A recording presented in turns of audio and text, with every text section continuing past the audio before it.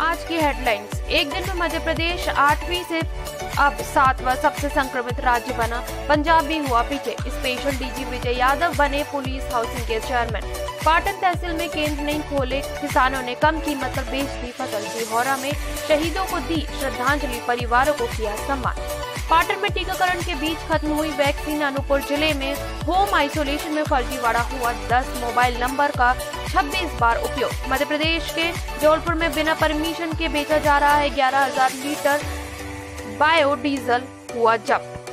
पांचवी बार टली अक्षय कुमार की फ़िल्म सूर्यवंशी की रिलीज़ डेट। अमिताभ बच्चन की आने वाली फ़िल्म गुड बॉय के लिए बुक हुआ पूरा स्टूडियो।